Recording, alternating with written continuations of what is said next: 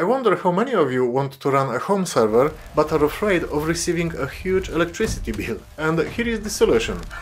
A home server that draws just around 2 watts. And when I say home server, I usually mean anything that can run Proxmox, because this is my personal definition of a home server. Does it run Proxmox? If yes, it can be classified home, as a home server. And uh, I wanted to find a device capable of running Proxmox while drawing as little electricity as possible. And as you can see, this is Raspberry Pi 3B. And I know it's a bit extreme since it only has 1 gigabyte of RAM. So yes, we are going to be very limited, but as a proof of concept, it's great. I believe this is the smallest Raspberry Pi that can actually run Proxmox. And if you have a newer Raspberry Pi with 4 gig uh, RAM or more, your experience will be much better. But it still works with this Pi, with just 1 gig of RAM, so let's see how we can install Proxmox on it.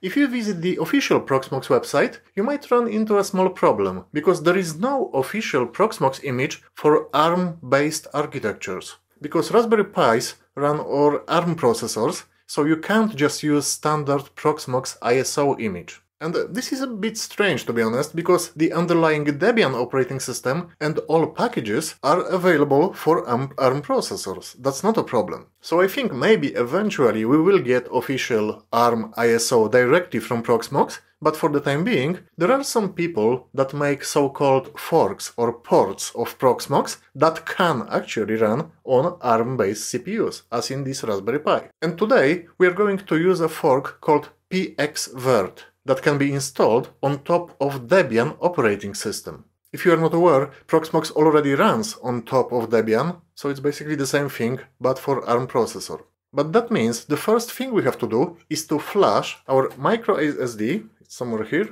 as you can see, I will flash this micro SD, but maybe you are running it directly on SSD drive, that's, you know, possible as well. I will just use this small card. That's because uh, we will do everything from scratch here, alright? So let's flash this micro SD with Debian 13 or Debian 12 Bookworm because it also works. I mean, this guide also works with Debian 12 Bookworm, just if you were uh, wondering. But Debian 13 uh, codename Trixie is newer, so why not use the newest one? So what you have to do, you have to download Raspberry Pi Imager, it's called. Note that you can't use Rufus or Balena Etcher for that. You have to use that Raspberry Pi Imager. You then insert your micro SD card in whatever devices you are going to use for flashing uh, process and you start that Raspberry Pi Imager.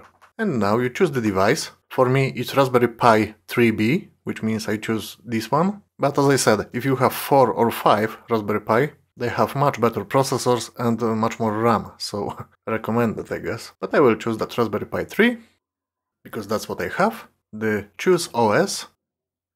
I will go for the top operating system, which is 64-bit Debian Trixie, as you can see. And it's already selected, so that's fine. And now I choose storage. And for the storage, I have to choose that micro SD that I just inserted. So I select it, and I just say next. Would you like uh, customizations? No, thank you. And remember that all the data will be erased, so be careful with that. Make sure it's correct microSD, yes? But I'm sure about it. I only have one anyways inserted, so I say yes. It doesn't take long, it takes a minute or two, the writing process.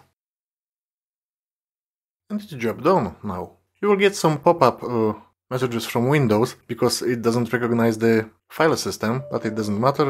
You just close everything and as it says, you remove the SD card and then you insert that SD card. You have to connect the keyboard and the mouse to your Raspberry Pi. You have to connect the power, of course, and the HDMI cable to connect it to your monitor. That's the first screen you see when you switch on your Raspberry. And you simply follow the standard installation process. You might have noticed we already have IP address. That's because we use wired connection. It's pretty important to use wired connection rather than Wi-Fi because Proxmox doesn't like Wi-Fi. You just click next, next, username.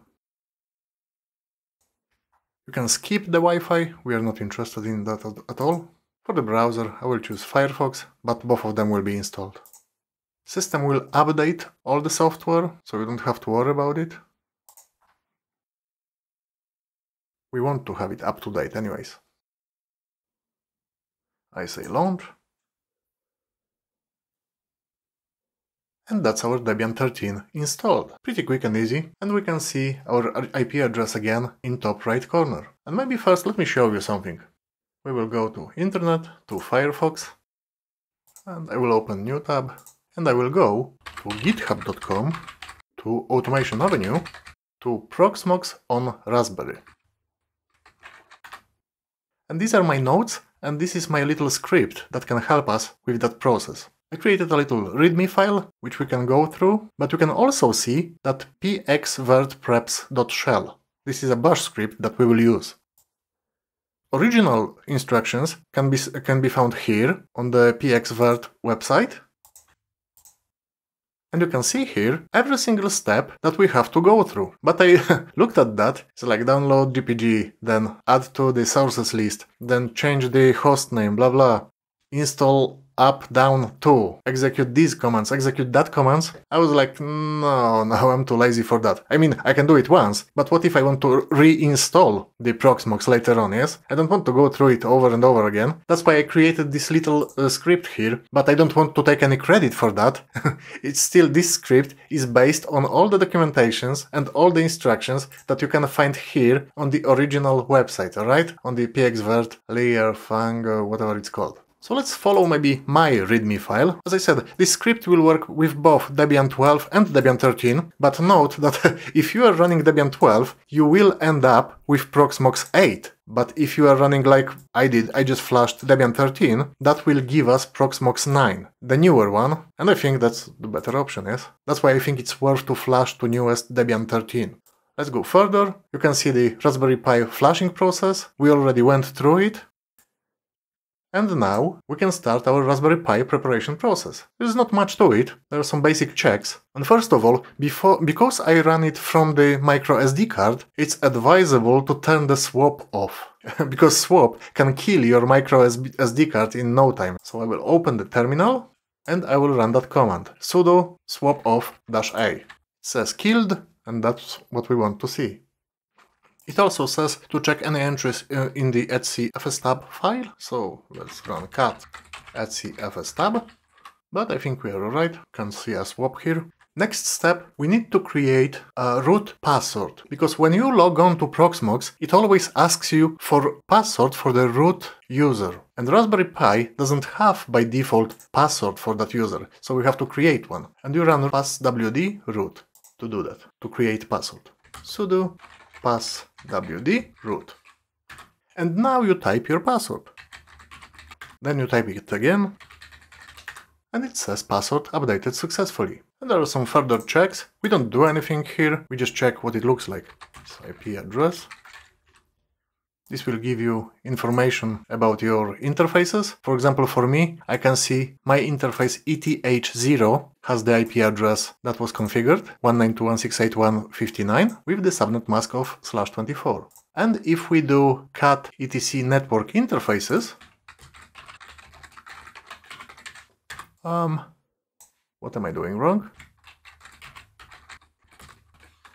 Ah, sorry, that won't be available yet. I will have to amend that instruction. But we can check the hosts, maybe. Let's say cat etc hosts. And the entry we are interested in is the last one. Currently, we've got host called Raspberry Pi, but it points to loopback interface. I know it might be confusing, but if you go to the original document, it will tell you exactly what it is about. So you should really use both documents, not only my document, but also the original one, because it will tell you, like, uh, you will find out what we are doing and why, yes? Let's go back to my GitHub. We can see it's currently loopback pointing to Raspberry Pi, and we will simply see how it changes later on. And now we just run my bash script. But uh, how do we run it? we don't have it here locally on Raspberry, yes? We can simply scroll up, I can click on that. I mean, if you are familiar with GitHub, GitLab or Bitbucket, you can simply git clone it, like uh, using this command or using git clone and that URL. But you, if you are not familiar with the GitHub, then you can simply click on that uh, script. Now it's shown here, that's the entire script. And what it does, it downloads the GPG key, it adds repository to the sources list, it disables network manager that is used by default, it installs up, up and down, everything that basically is here, all those lines, they will be performed by this script. And you can just click that copy raw file. I will click on that. I will go here and I will say nano and I will call the uh, file the same name as originally it was named on the GitHub, but it's uh, the name can be anything really. And now I just paste. Everything has been pasted now, as you can see. So now I say Control O, Enter, Control X. Again, looks like I'm not able to write in that particular location. Let me, I'm in etc network. I will go to my home Marek location. I am able to write in my home directory, I should be fine. Now I say again, nano and this file, and I think I still have it in the clipboard, so I can just paste it. That's all the file. So again, Control O, Enter, Control X. Now I can see it. Can I? yes, I can. The file is now here, and we can go back to the instruction, to the readme file. And we simply run it with this command, sudo dot forward slash and the file name. But before we do that, we have to change the mode. We have to add the execute permission.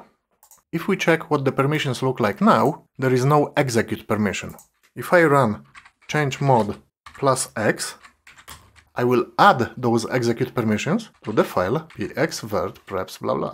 And if we run it again, now I can see execute permissions and it turned green, which means now I should be able to run it. I say sudo dot forward slash pxvirt preps dot shell. Press enter and you just wait for a while. Everything should be done automatically for you.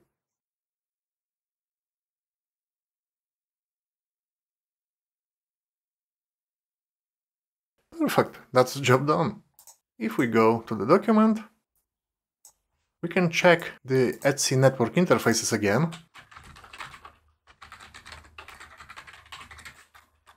And that's what you want to see. Your interface, it might be different than ETH0, but it will be picked up automatically by the script anyways. And the virtual bridge, like a Linux bridge it is, it's now created, and the IP address is now assigned to that bridge instead of that physical interface. This is required because if we go here, if we scroll down,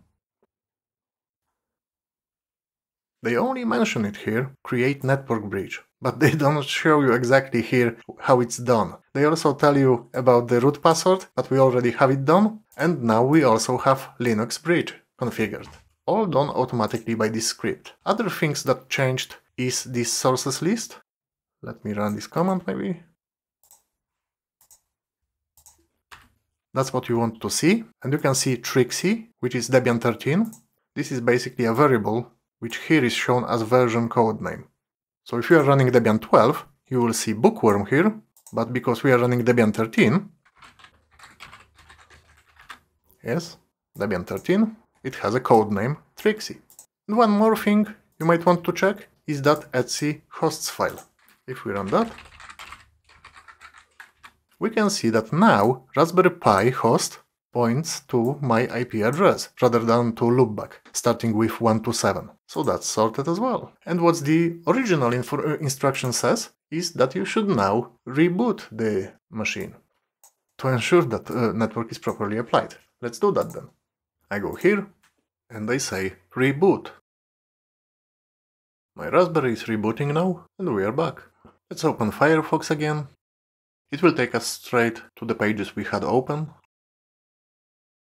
And the last step is to install pxvirt. This command I just copied from official pxvirt website. As you can see, it's exactly the same. We just need to run apt update and install the necessary packages. I will just copy it. I mean, after reboot, you can check like your IP address, if everything is fine. You can check etc network interfaces. I know for me it works perfectly fine. That's why I skip it. But you can, th that's the point of the reboot, yes? That you check the networking works correctly. For me it does, so I just go for sudo apt update. And you can see that hit 5 We've got that lierfang.com. This is where the packages are located, and that's what we, why we have to run apt update. So the previous command we ran for sources, it's uh, applied here, and we have access to that repository. Hope that makes sense. And now, as a sudo, I just run this command below. I will just add dash y, so it auto answer yes, and these packages, these Proxmox VE, QEMU server, etc., they are all in that new repository that we have access to.